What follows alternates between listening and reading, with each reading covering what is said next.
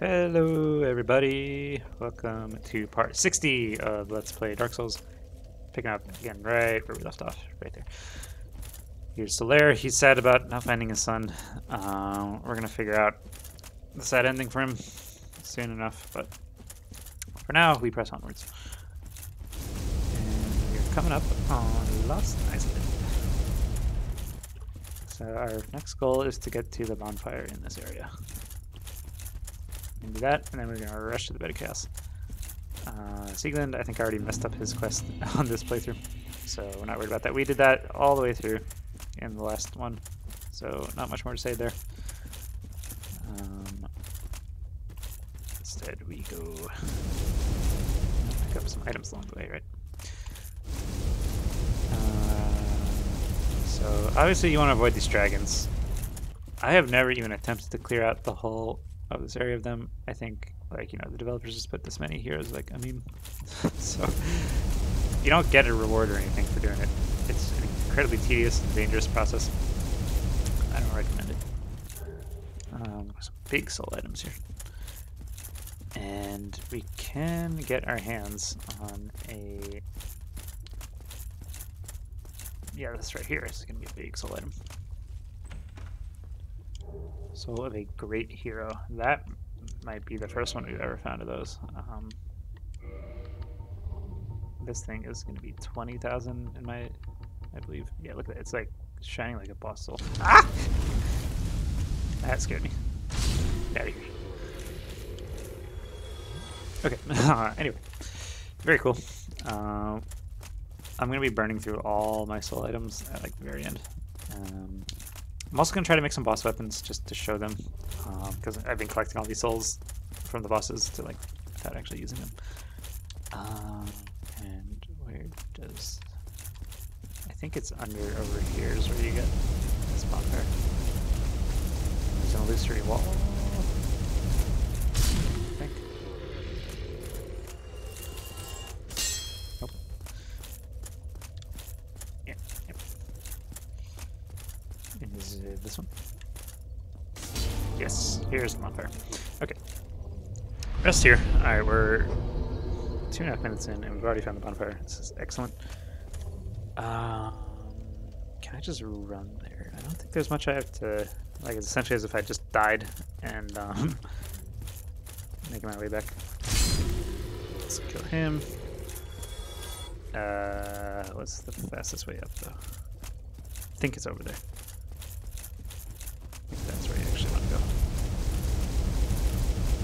Will do that. Uh, something I might try for this boss fight is, um, because I don't think there's much of a way to make this fight any more challenging than it was originally. Um, I'm going to try to use arrows because you can actually avoid like half the jumps if you um, like shoot uh, through the wood sticks a few times and then hit the little bug. Uh, and I believe even there's like some spots you can straight up just like Kobe from Kobe and without having to actually uh, like get very far in. I Just realized, I don't know, is it, are people still saying Kobe? Or is it like too sad now? Ah, I feel so bad. That was so tragic what happened to him. May he rest in peace. I think it's a great term. Just when you make a nice shot, just Kobe. It'd be a shame if we lost that term. So just kill one of these things. I'm curious how easily we can. So two shots to stagger and three shots to kill. Not bad. I think these guys drop uh, red slabs. I don't know for sure. I think it is them though, because I don't know where else you would get red slabs from. Um, yeah, there's like a bunch of extra stuff here to do, but we're not interested in much of it. This little caster out of here. Like, is Dark Souls. Magic is not that good, I'm afraid. I mean, okay, I say that, that's just me. Um, there are players who, if you min-max for magic, it's like kind of broken, but if not, you're gonna be the one that's breaking. So, oh my god, we're already like, um, here within five minutes. So we probably could have squeezed it into one episode now that I'm thinking about it, but it's it's fine. We could have gone for the per episode. I might still go for that.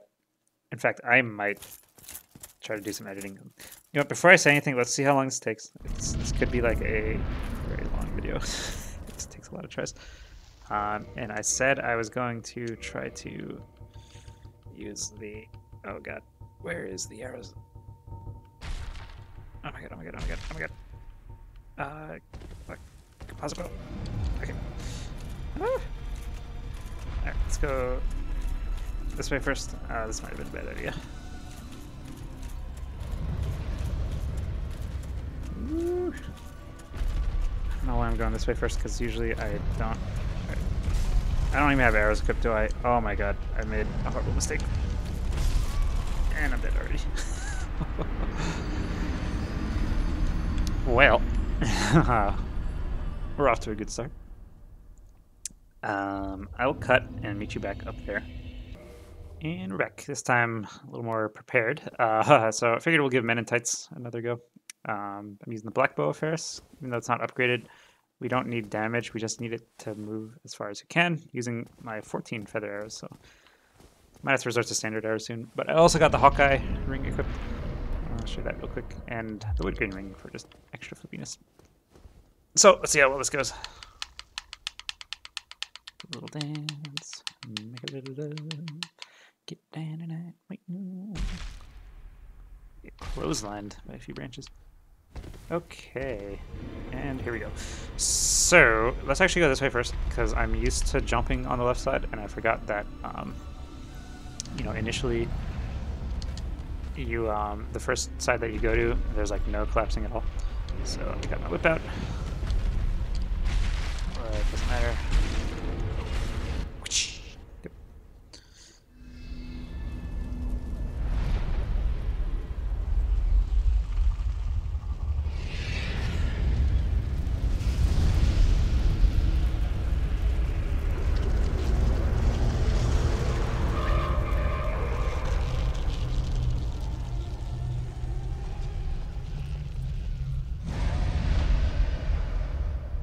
She awakens.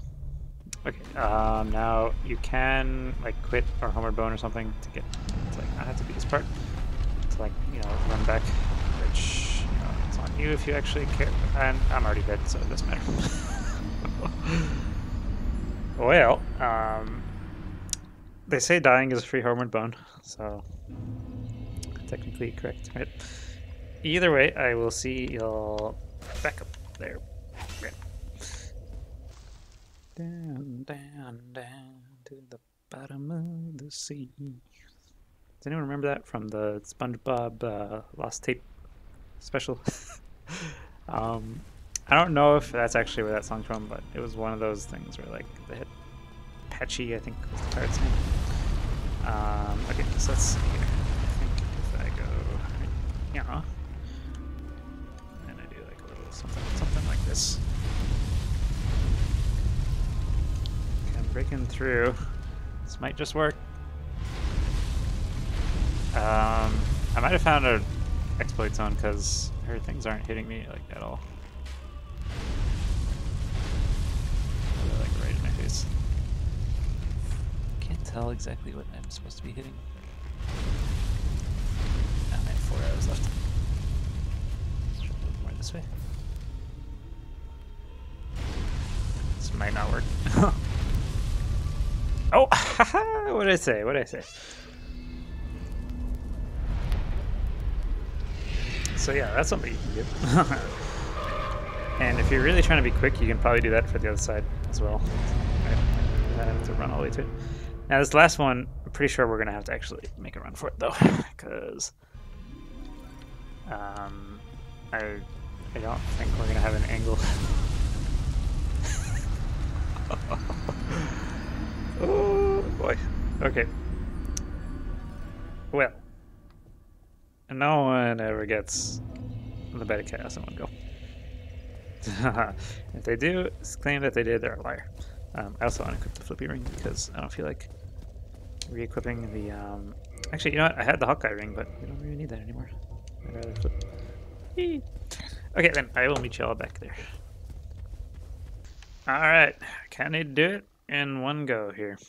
Um, and this is one go because you get you're allowed one death per side. Ooh, sorry, it gets fiery on the last stage. Now I might mess this up because I know you got to be quick, and I, and once the floor collapses, um, you got to be in a very specific spot. Otherwise, okay, that still hit me, which is annoying.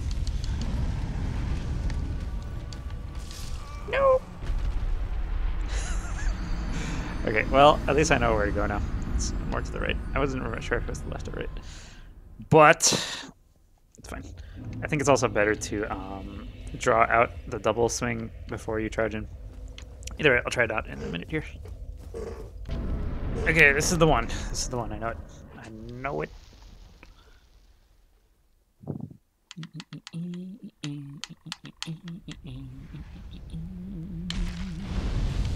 Fire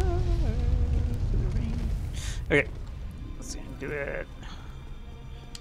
And I think, yeah, see, like, wow. Just some long fingernails she's got. Try this again. Oh my god, I just realized uh, there's actually some business I gotta do before um, we want to kill the boss. So, where I want to go now. Am I stuck here? No, I have to go around this way. Where I want to go is uh, to the shortcut area.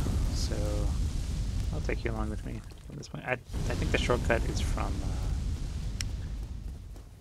from the boss arena. Um, well, I'm actually glad I was failing because if I I don't even know. I might. You might not get to see what I'm about to show you if you kill the boss first. So we got pretty lucky here. Um, back to the Great Sword because this is really what it's all about. Uh, too lazy to put all my armor back on. Now I don't think we go this way. I think we got to go up and over this way.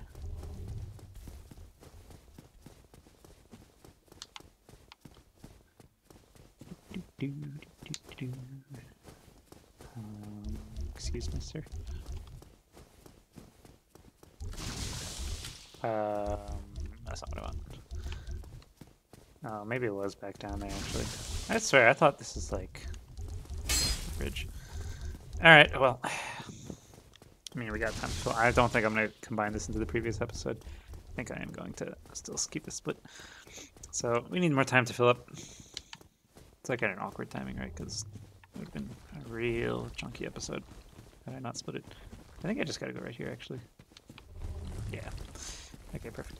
So, what is all this for, you might be wondering. Um, well, not this guy. You might remember this guy gave me a bunch of trouble last time.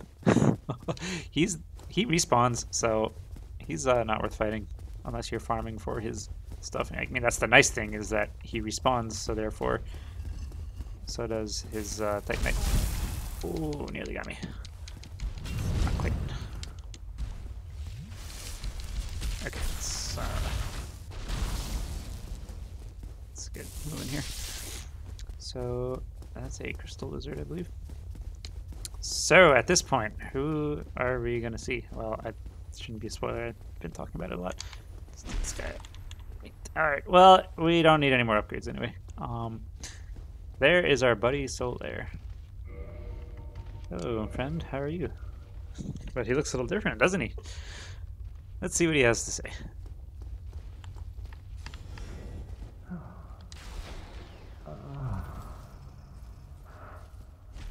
finally, I have found it. I have. My very own sun. I am the sun. Have done it. I have. Yes, I did. I did. Oh. Oh.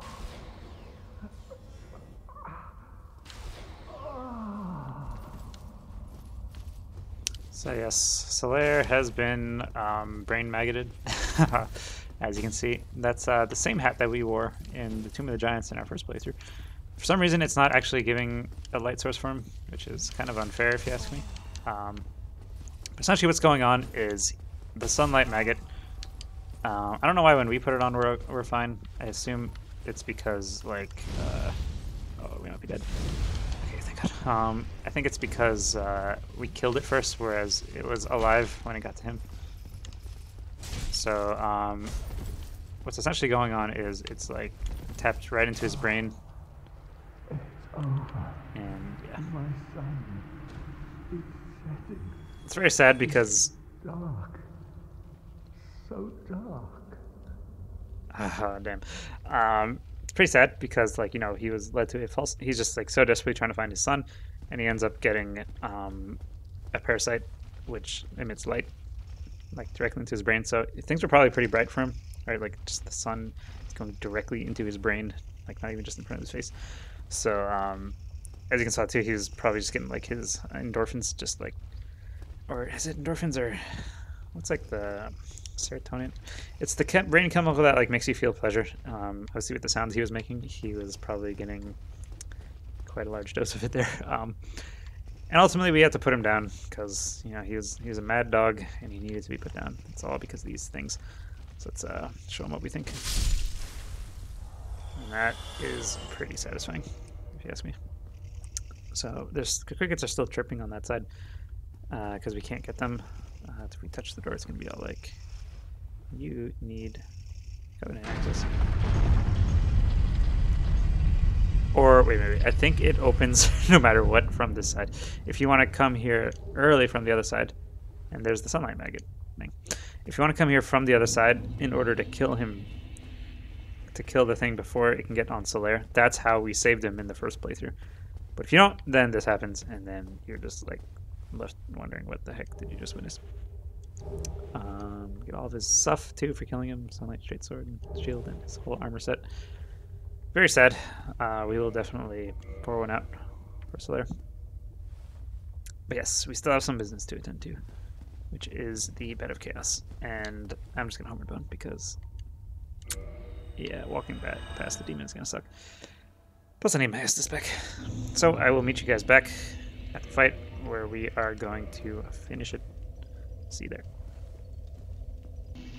Okay, this is the one I think, man. This is the boss that really like wears on your just endurance, not your in-game, but like your actual gaming endurance. Because oh my god, it takes forever. Oh no, no, no, no, no! That'll kill me. Oh, okay, okay, okay. Here we go. I didn't even. Oh my god. I knew that if I jumped or rolled, I was gonna get hit anyway. Oh, I want to be over. Get you back up there. All right, guys, this is me do it. I um kind of running short on time in real life, so this needs to be wrapped up now and not later. So let's get it, as they say. Here, here- here's what I'm doing. We gotta just bait out the attack, go back very far. Now we can charge in. Not yet. God dang it! Alright, I'm getting like frustrated now. Um, how do we? I'll figure it out this time. I, I swear to God, I will. All right, so I put our heavy armor back on because the problem is we're getting one shot by the hand.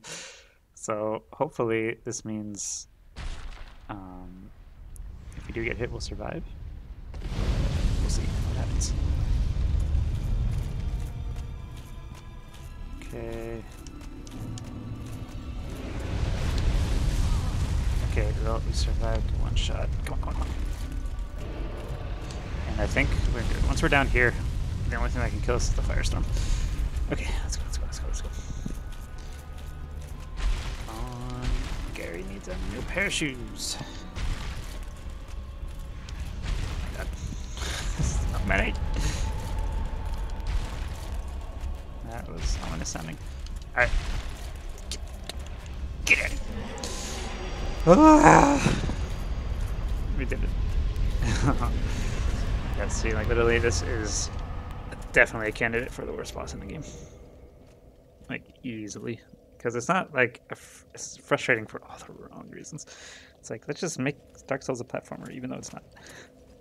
So let me level up. We'll go to like Firelink Shrine or something for goodbyes. Uh, we need have faith. Okay, intelligence and faith. That's exactly what we want. Okay, I'm, I'm like, my brain is mush. I've recorded quite a few episodes. This is all the way from Gwyndolin, so fought a lot of bosses, went to a lot of areas. Let's go to Firelink Shrine. We're gonna go to Anor Londo next for the Duke's Archives, but just go back here. So this is going well, right? We're uh, getting through all the bosses. Things are happening. And yeah, and then we take it back to Firelink Shrine. We need to take rest. So yeah, guys, like I said, I got some things I gotta head out to, so I'm gonna make this quick. Thank you guys for watching as always. And yeah, I will see you in the next episode. Bye bye.